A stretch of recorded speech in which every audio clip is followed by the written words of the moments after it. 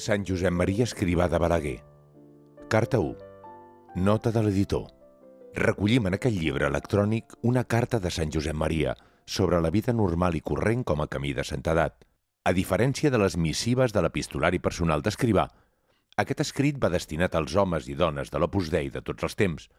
Si bé qualsevol cristià, i fins i tot no batejat, pot trobar-hi un estímul per viure segons l'exemple de Jesucrist i seguir la via que va traçar ell.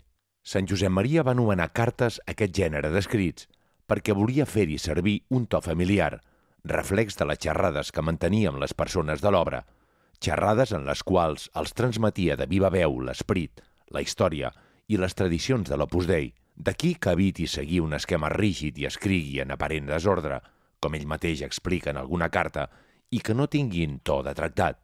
Són cartes que volen transmetre ensenyances perennes i madures, que Sant Josep Maria va recollir al llarg d'una vida, des dels seus primers anys de sacerdoci, i que va anar transcrivint en apunts, fitxes, esbossos més o menys desenvolupats. Acabades altres feines que l'urgien més, va voler donar a la impremta tot aquell material, actualitzant-ne i completant-ne la redacció, als anys 60 del segle XX, però va desitjar posar-hi també una data antiga, en aquest cas, la del 24 de març de 1930.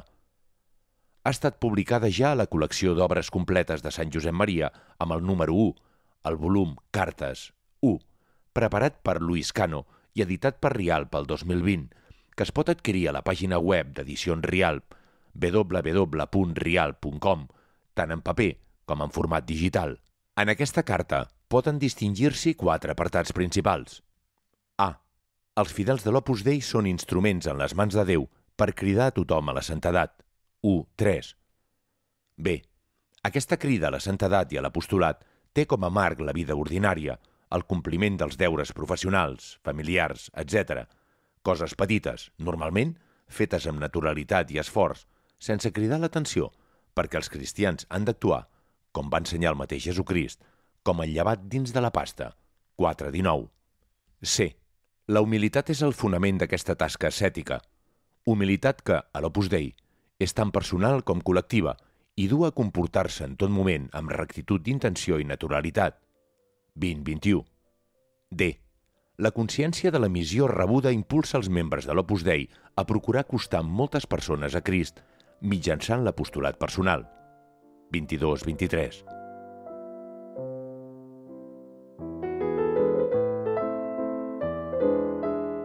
Sant Josep Maria Escrivà de Balaguer. Carta 1. Sobre la vida corrent com a camí de santedat, també coneguda per Incipit Singule Dies, està datada el 24 de març de 1930 i va ser impresa per primer cop al gener de 1966.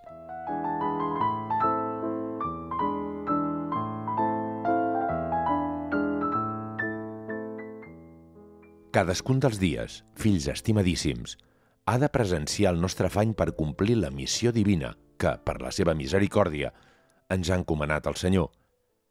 El cor de Nostre Senyor és cor de misericòrdia, que es compadeix dels homes i s'hi acosta.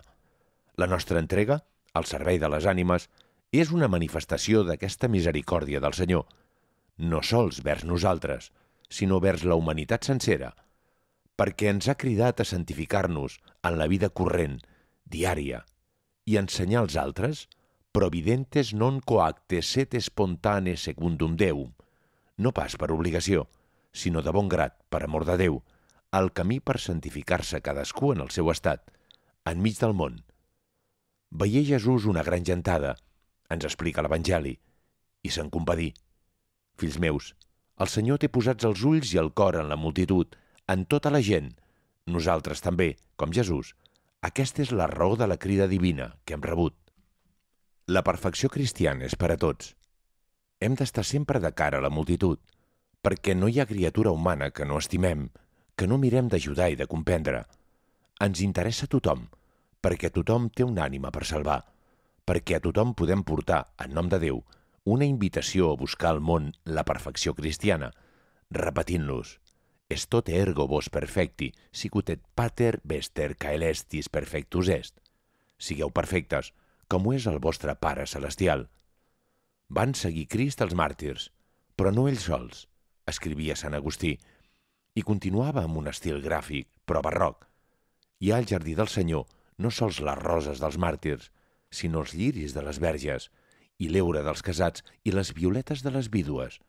Estimadíssims, que no desesperi ningú de la seva vocació, per tots ha mort Crist. Amb quina força ha fet ressonar el Senyor aquesta veritat en inspirar la seva obra. Hem vingut a dir, amb la humilitat de qui se sap pecador i poca cosa, homo peccator sum, diem en Pere, però amb la fe de qui es deixa guiar per la mà de Déu, que la santedat no és cosa per a privilegiats, que tots ens crida el Senyor, que de tots espera amor, de tots, siguin on siguin, de tots, no hi fa res el seu estat, la seva professió o el seu ofici, perquè aquesta vida corrent, ordinària, sense aparença, pot ser mitjà de santedat. No cal abandonar el propi estat dins el món per buscar Déu, si Nostre Senyor no dona un ànim a la vocació religiosa, ja que tots els camins de la terra poden ser ocasió d'una trobada amb Crist.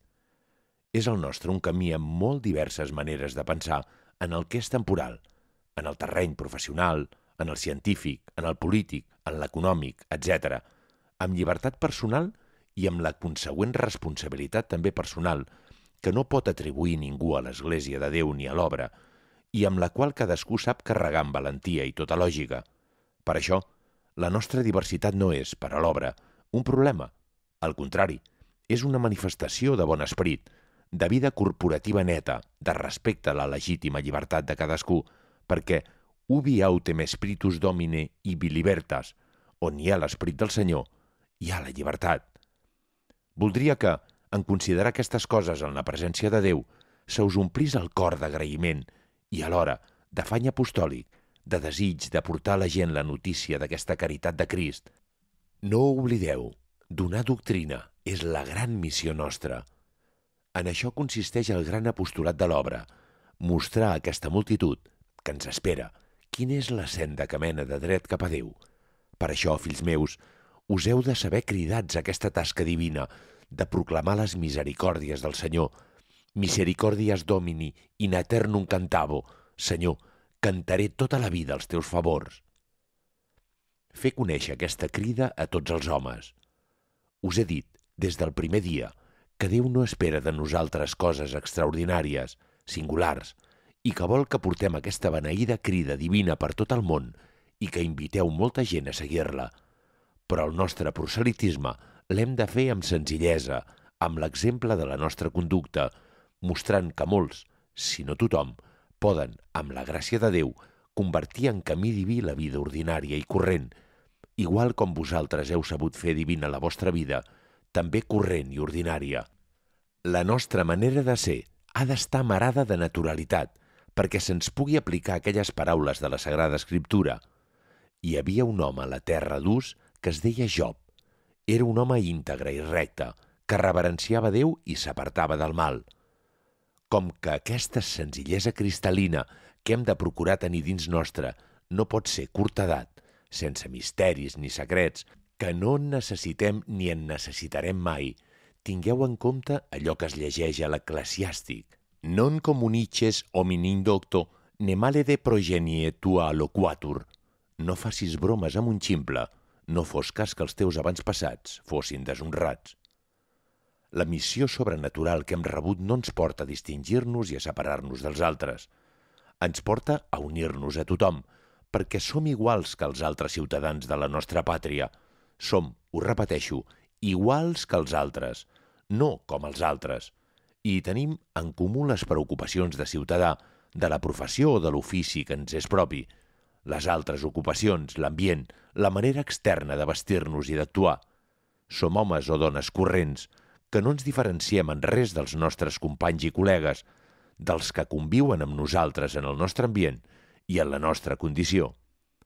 M'agrada expressar-me en paràboles, i més d'una vegada he comparat aquesta missió nostra, seguint l'exemple de Nostre Senyor, a la del llevat que, des de dins de la pasta, la fermenta fins a convertir-la en pa bo. He gaudit, en les meves temporades d'estiu, quan era una criatura, veient fer el pa, Llavors no pretenia en conseqüències sobrenaturals. M'interessava perquè les serventes em portaven un gall fet amb aquella pasta.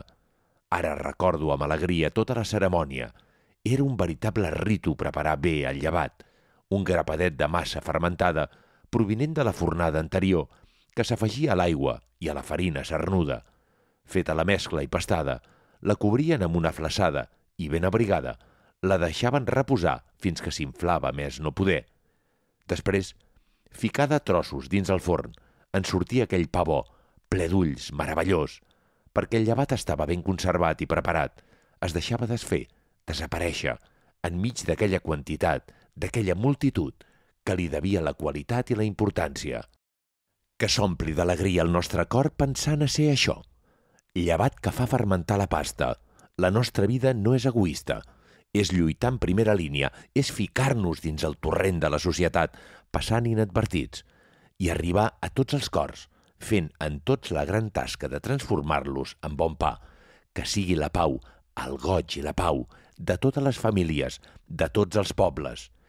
Iustitia et pax et gaudium in spiritu sancto, la justícia, la pau i el goig de l'Esprit Sant. Però, per ser llevat, cal una condició – que passeu inadvertits. El llevat no fa efecte si no es fica dins la massa, si no s'hi confon.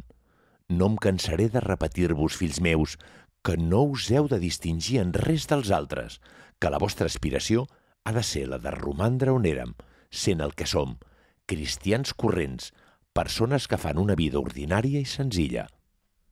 Primers cristians. Contemplant les vostres vides, sembla que cobrin realitat nova les paraules que es van escriure en els començaments del cristianisme. Els cristians no es distingeixen dels altres homes ni per la seva terra, ni per la parla, ni pels costums, perquè ni habiten en ciutats exclusivament seves, ni parlen una llengua estranya, ni porten un gènere de vida a part dels altres.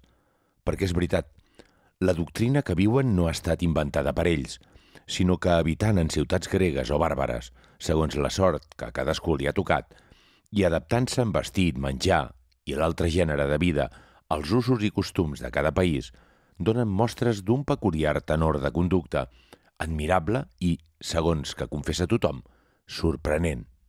Però, sobretot, tinguem present l'exemple de Crist.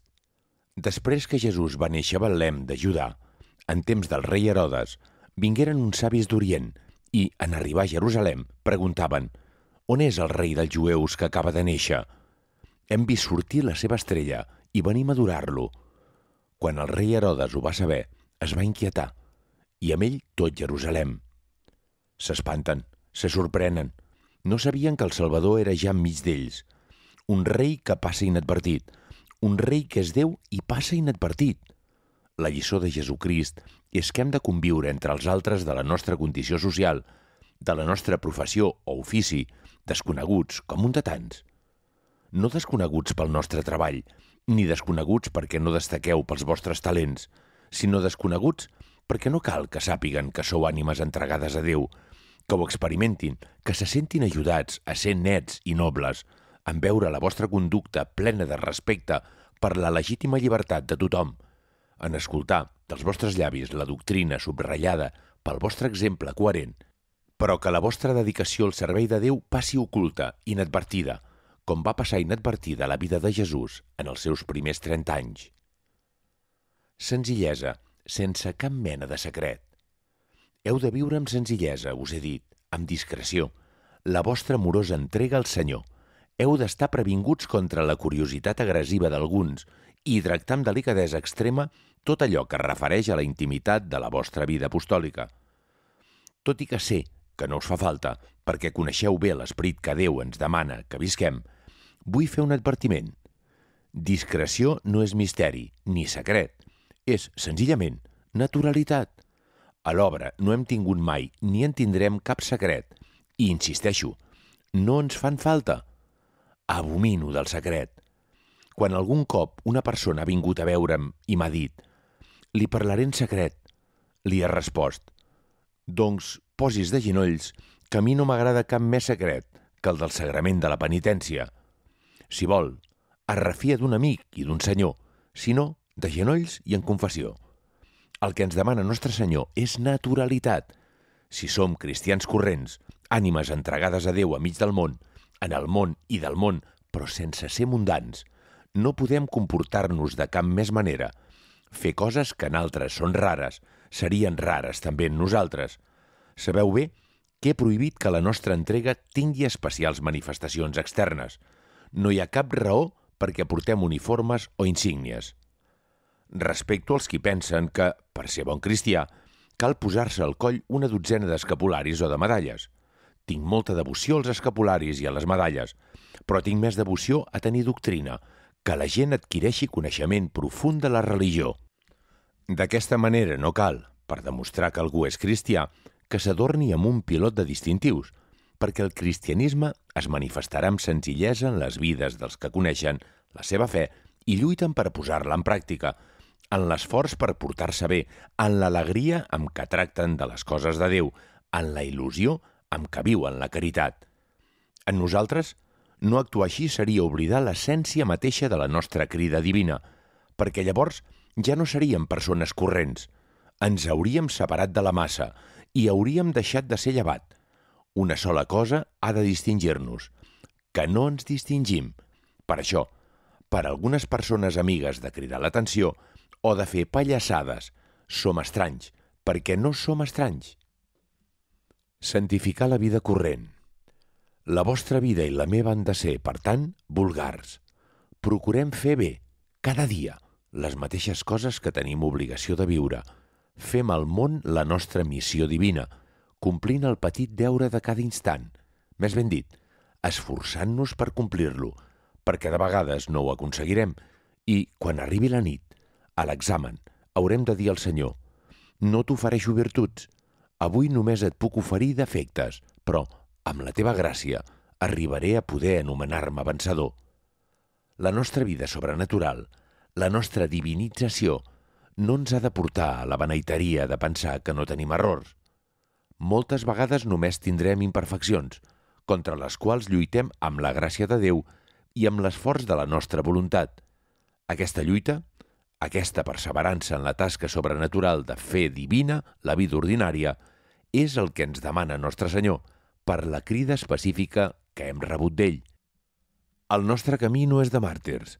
Si el martiri ve, el rebrem com un tresor – sinó de confessors de la fe, confessar la nostra fe, manifestar la nostra fe en la nostra vida diària, perquè els socis de l'obra viuen la vida corrent, la mateixa vida que els seus companys d'ambient i de professió. Però en la feina ordinària hem de manifestar sempre la caritat ordenada, el desig i la realitat de fer perfecta per amor la nostra tasca, la convivència amb tothom, per portar-los oportune et importune, amb l'ajuda de Nostre Senyor i amb gràcia humana, a la vida cristiana i encara la perfecció cristiana enmig del món, el despreniment de les coses de la terra, la pobresa personal estimada i viscuda. Hem de tenir present la importància santificadora de la feina i sentir la necessitat de comprendre a tothom per servir a tothom, sabent-nos fills del Pare nostre que està en el cel i unint, d'una manera que acaba sent connatural, la vida contemplativa amb l'activa, perquè és així que ho exigeix l'esperit de l'obra i és així com ho facilita la gràcia de Déu als qui generosament li serveixen en aquesta crida divina. Heu d'acostar les ànimes a Déu amb la paraula convenient, que desvella horitzons d'apostolat, amb el consell discret, que ajuda a enfocar cristianament un problema, amb la conversa amable, que ensenya a viure la caritat, mitjançant un apostolat que he anomenat alguna vegada d'amistat i de confidència. Però heu de treure sobretot amb l'exemple de la integritat de les vostres vides, amb l'afirmació, humil i audaç alhora, de viure cristianament entre els vostres iguals, amb una manera ordinària, però coherent, manifestant en les nostres obres la nostra fe. Aquesta serà, amb l'ajut de Déu, la raó de la nostra eficàcia. No tingueu por del món. Som del món i, units a Déu, si vivim el nostre esperit, no hi ha res que pugui fer-nos mal. Potser, de vegades, a mig de gent allunyada de Déu, la nostra conducta cristiana pugui xocar. Haureu de tenir la valentia, sustentats amb l'omnipotència divina, de ser fidels. Demano pels meus fills la fortalesa d'esperit que els faci capaços de dur amb ells el seu propi ambient, perquè un fill de Déu, en la seva obra, ha de ser com una brasa encesa, que cala foc allà on és, o almenys eleva la temperatura espiritual dels que l'envolten, arrossegant-los a viure una intensa vida cristiana. Perfecció en la vida ordinària. En canvi, si mai vingués la temptació de fer coses rares i extraordinàries, venceu-la, perquè, per a nosaltres, aquesta manera d'actuar és equivocar-se, desencaminar-se. Ho diré amb un exemple que probablement us divertirà. Penseu que aneu a un hotel i demaneu un llucet. Passen uns minuts i el cambrer us porta un plat. Us el mireu i advertiu amb sorpresa que no és un llucet, sinó una serp. Tal vegada, un d'aquells grans taumaturgs que admiro i la vida dels quals està plena de miracles, hauria reaccionat fent-hi una benedicció i convertint el rèptil en un lluç ben guisat. Aquesta actitud em mereix tot el respecte, però no és la nostra. La nostra és cridar al cambrer i dir-li clarament «Això és una porqueria, endugui-s'ho i porti'm el que li he demanat». O també, si hi ha raons que ho aconsellin, podem fer un acte de mortificació i menjar-nos la bestiola sabent que és serpent, oferint-ho a Déu. En realitat, hi cabria una tercera posició. Cridar al cambrer i clavar-li un parell de clatellades. Però aquesta tampoc és una solució nostra, perquè seria una falta de caritat. Fills meus, allò que és extraordinari nostre és l'ordinari. L'ordinari fet amb perfecció. Somriure sempre, passant per alt, també amb elegància humana, les coses que molesten, que fastiguegen. Ser generosos sense mesura. En una paraula, fer de la nostra vida corrent una contínua oració. N'hi ha que tenen un esperit diferent. Aquell que podríem dir del gran taumaturg. Em sembla bé, l'admiro, però no l'imitaré mai. El nostre esprit és esprit de providència ordinària. Més miracle és que cada dia es compleixin les lleis que regeixen la natura que el fet que alguna vegada s'hi produeixi una excepció. No sigueu amics de miracleries. El miracle de l'obra consisteix a saber fer de la prosa petita de cada dia en decasíl·labs, vers heroic. Molt clar és, doncs, el nostre camí, les coses petites – es pot comparar la nostra vida, sent nosaltres homes ferms i forts, a la d'un nen petit. Ho haureu vist tantes vegades, a qui porten de passeig pel camp i recull una floreta i una altra i una altra. Flors petites i humils, que passen inadvertides als grans, però aquell, com que és nen, veu i les ajunta fins que en fan pom per oferir-lo a la seva mare, que se'l mira amb mirada d'amor.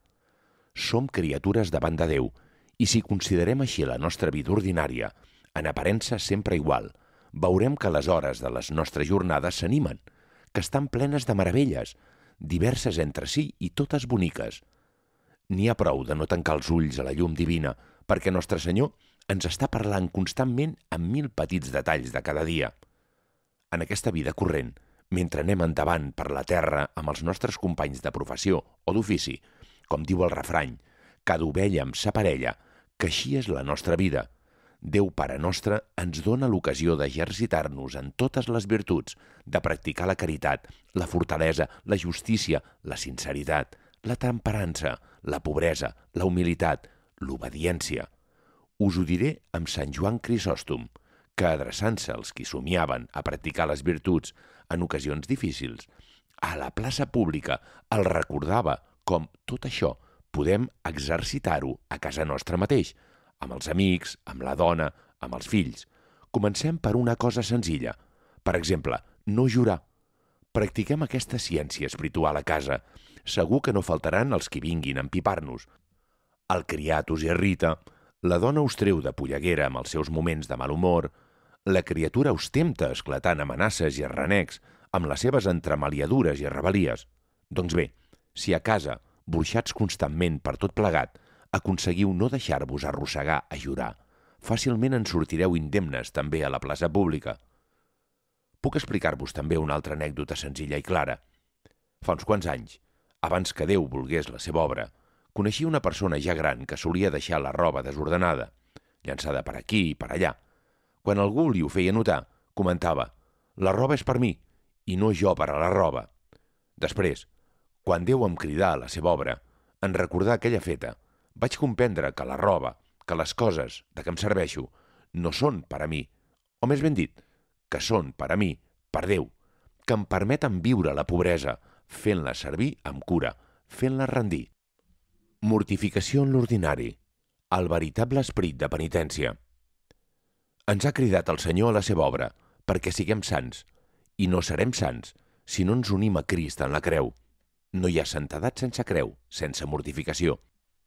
On més fàcilment trobarem la mortificació és en les coses ordinàries i corrents, en la feina intensa, constant i ordenada, sabent que el millor esperit de sacrifici és la perseverança a acabar en perfecció la tasca començada, en la puntualitat, omplint de minuts heroics al dia, en la cura de les coses que tenim i utilitzem, en l'afany de servei que ens fa complir amb exactitud els deures més petits i en els detalls de caritat per fer amable a tothom el camí de santedat en el món.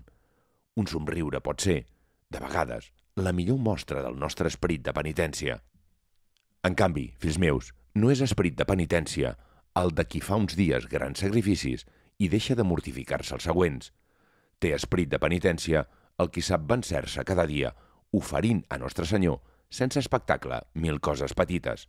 Aquest és l'amor sacrificat que espera Déu de nosaltres. Sabem també que les temptacions que cal tema no són tant grans batalles com més aviat les guineus menudes que destrossen les vinyes, perquè qui menysprea el poc que té, decaurà més cada vegada. Només així aconseguirem que aquest cos corruptible es revesteixi d'allò que és incorruptible i que aquest cos mortal es revesteixi d'immortalitat. I us he ensenyat que la nostra manera sobrenatural de procedir ha de portar-nos a col·locar la lluita en detalls petits, l'ordre a la feina, la puntualitat en el pla de vida, la fidelitat als deures d'estat o de l'ofici que es presenten en cada instant, de tal manera que aquí, en les nostres batalles de nen, es cansi i es desgasti l'enemic.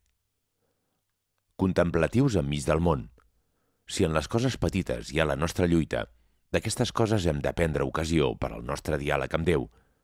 És possible que hi hagi gent que, com aquells homes forts que en tenen prou en fer només un gran àpat al dia, mantinguin l'atenció interior gràcies a una llarga estona d'oració.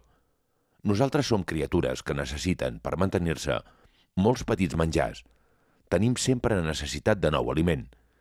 Cada dia hi ha d'haver alguna estona dedicada especialment al tracte amb Déu – però sense oblidar que la nostra oració ha de ser constant, com el batec del cor, jaculatòries, actes d'amor, accions de gràcies, actes de desgreuja, comunions espirituals.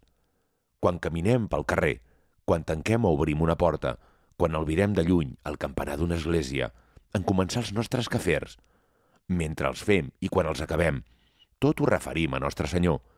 Estem obligats a fer de la nostra vida ordinària una oració continuada, perquè som ànimes contemplatives enmig de tots els camins del món. He volgut, fills estimadíssims, descriure-us alguns trets de la nostra manera de santificar la vida ordinària, convertint-la en mitjà i ocasió de santedat pròpia i aliena. Assolirem aquest fi si tenim present la condició dita, que cuidem la importància de les coses petites. Va bé recordar la història d'aquell personatge, imaginat per un escriptor francès, que pretenia caçar lleons als corredors de casa seva i, naturalment, no en trobava. La nostra vida és comuna i corrent. Pretendre servir el Senyor amb coses grans seria com intentar anar a la caça de lleons als corredors. Igual que el caçador del conte, acabaríem amb les mans buides. Les coses grans, normalment, es presenten només en la imaginació, rarament en la realitat. En canvi, al llarg de la vida, si ens mou l'amor, quants detalls trobarem que es poden cuidar, quantes ocasions de fer un petit servei, Quantes contradiccions, sense importància, sabrem revalorar. Petites coses que costen i que s'ofereixen per un motiu concret. L'Església, el papa, els teus germans, totes les ànimes. Fills meus, us ho repeteixo un cop més. Hauríem arrat el camí si menys paréssim les coses petites. En aquest món, tot el que és gran és una suma de coses petites. Que us fixeu en el que és petit, que estigueu en els detalls. No és obsessió, no és mania, és afecte, amor virginal, sentit sobrenatural en tot moment i caritat. Sigueu sempre fidels en les coses petites per amor, amb rectitud d'intenció, sense esperar a la terra un somriure ni una mirada d'agraïment. Si viviu així, fareu amb la vostra vida un apostolat fecund i mereixereu al final del camí l'elogi de Jesús. Quia super pauca fuisti fidelis, super multa te constituam, intra in gaudium domini tui. Has estat fidel en poca cosa, en les coses petites, jo t'encomanaré molt més. Entra al goig del teu senyor. La nostra vida és senzilla, ordinària, però si la viviu d'acord amb les exigències del nostre esperit, serà alhora heroica. No és mai la santedat cosa mediocre, i no ens ha cridat el Senyor per fer més fàcil, menys heroic, caminar vers ell. Ens ha cridat perquè recordem a tothom que, en qualsevol estat i condició, enmig dels afanys nobles de la terra, poden ser sants, que la santedat és cosa assequible, i alhora, perquè proclamem que la meta és ben alta. Sigueu perfectes, com ho és el vostre Pare Celestial. La nostra vida és l'heroisme de la perseverança en el que és corrent, en les coses de cada dia. No és una cosa sense valor la vida habitual. Si fer cada dia el mateix pot semblar rom, pla, sense al·licients, és perquè falta amor. Quan hi ha amor, cada nou dia té un altre color, una altra vibració, una altra harmonia. Que ho feu tot per amor. No ens cansem d'estimar el nostre Déu tenim necessitat d'aprofitar tots els segons de la nostra pobra vida per servir totes les criatures, per amor a Nostre Senyor, perquè el temps de la vida mortal és sempre poc per estimar, és curt com el vent que passa. Algú pot imaginar, tal vegada, que en la vida ordinària hi ha poc per oferir a Déu, petiteses, nimietats. Un nen petit, volent agradar al seu pare, li ofereix el que té, un soldadet de plom escapçat, un rodet sense fil, unes pedretes, dos botons, tot el que té de valor a les butxaques, els seus tresors. I el pare no considera la puerilitat del regal. L'agraeix i estreny el fill contra el cor, amb immensa tendresa. Actuem així amb Déu, que d'aquestes criaturades, d'aquestes petiteses, es fan coses grans, perquè és gran l'amor. Aquest és el nostre fort, fer heroics per amor els petits detalls de cada dia, de cada instant humilitat personal i col·lectiva. Siguem humils, busquem només la glòria de Déu, perquè la nostra vida d'entrega, callada i oculta, ha de ser una constant manifestació d'humilitat. La humilitat és el fonament de la nostra vida, mitjà i condició d'eficàcia. La supèrbia i la vanitat poden presentar com atraient la vocació de fanal de festa popular, que llueix i es belluga, que està a la vista de tothom, però que en realitat dura només una nit i mor sense deixar res rere seu. Aspireu més aviat a cremar-vos en un racó, com les llànties que acompanyen el sagrari en la penombra d'un oratori, eficaces als ulls de Déu, i, sense fer ostentació, acompanyeu també els homes, els vostres amics, col·legues, parents, els vostres germans, amb el vostre exemple, amb la vostra doctrina, amb el vostre treball i amb la vostra serenitat i amb la vostra alegria. Vita vestra, est abscondita cum Cristo in Deo. Viviu de cara a Déu, no de cara als homes. Aquesta ha sigut i serà sempre l'aspiració de l'obra, viure sense glòria humana, i no oblideu que, en un primer moment, m'hauria agradat fins i tot que l'obra no tingués ni nom, perquè la seva història la conegués només Déu. Però, com que abominem del secret i volem treballar sempre dins dels límits de la llei, en cada país, no podrem deixar de fer servir un nom. Aquesta ha de ser també l'aspiració de cadascun de vosaltres, fills meus, passar inadvertits, imitar Crist, que va estar ocult 30 anys sent senzillament el fill del fuster, imitar Maria, a qui, sent mare de Déu, avelleix de dir-se esclava seva, exe la domini. Nostre Senyor ens vol humils. Aquesta humilitat no vol dir que no arribeu a on heu d'arribar en el terreny professional, en el treball ordinari i, per descomptat, en la vida espiritual. Cal arribar-hi, però sense buscar-vos a vosaltres mateixos, amb rectitud d'intenció. No vivim per a la terra, ni per a la nostra honra, sinó per a la honra de Déu, per a la glòria de Déu, per al servei de Déu. Només això ens mou. Déu s'ha volgut servir de vosaltres, de la vostra lluita per assolir la santedat i fins i tot dels vostres talents humans. Recordeu sempre el mandat de Crist, que brilli igualment la vostra llum davant la gent, així veuran les vostres bones obres i glorificaran el vostre Pare del cel. Per a ell tota la glòria, tot l'honor. Soli Déu honor et gloria in saecula seculorum. Només a Déu hem de donar l'honor i la glòria pel segle sense fi. No deixeu de meditar les paraules de l'apòstol. Què és Apoló? Què és Pau? Només són uns servidors que us han encaminat a creure, cada un segons allò que ha rebut del Senyor. Jo vaig plantar, Apoló va regar, però és Déu qui feia créixer. Per això no són res ni el qui planta ni el qui rega, només compta Déu, que fa créixer. No oblideu que senyal de predilecció divina passar ocults. A mi m'enamora el text de l'Evangeli, en què Sant Joan, en descriure un grup dels deixebles, ens diu Es trobaven plegats Simó Pere, Tomàs, l'anomenat Bessó, Natanael, de Canà de Galilea, els fills de Zebedeu i dos deixebles més. Tinc una gran simpatia a aquests dos, dels quals ni tan sols se sap el nom, perquè passen inadvertits.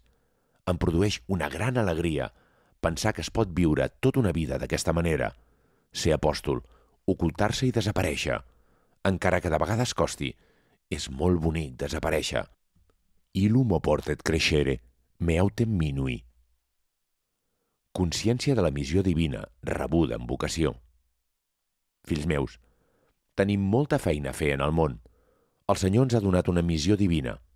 Des del primer dia us he invitat a agrair aquesta mostra de predilecció sobirana, aquesta crida divina en servei de tots els homes. Déu ens demana que l'afany apostòlic ompli els nostres cors, que ens oblidem de nosaltres mateixos per ocupar-nos, amb sacrifici fet de bon grat, de la humanitat sencera. La majoria dels que tenen problemes personals en tenen per l'egoisme de pensar en ells mateixos. Donar-se, donar-se, donar-se! Donar-se als altres, servir als altres per amor de Déu, aquest és el camí. Hem d'omplir de llum el món, perquè el nostre servei ha de ser fet amb alegria, que on hi hagi un fill de Déu, en la seva obra no falti aquest bon humor, que és el fruit de la pau interior, de la pau interior i de l'entrega. Donar-se al servei dels altres és de tal eficàcia que Déu ho premia amb una humilitat plena de goig espiritual. No hi ha res que pugui produir una satisfacció més gran que portar tantes ànimes a la llum i al caliu de Crist. Persones a les quals ningú ha ensenyat a valorar la seva vida corrent, per a les qui les coses ordinàries semblen vanes i sense sentit, que no arriben a comprendre aquesta gran veritat i admirar-se'n. Jesucrist s'ha preocupat de nosaltres, fins dels més petits, fins dels més insignificants. A tota la gent li heu de dir, també a vosaltres us busca Crist, com va buscar els primers dotze, com va buscar la dona samaritana, com va buscar Zaqueu, com el paralític, surgue tàmbula, aixeca't, que el Senyor t'espera.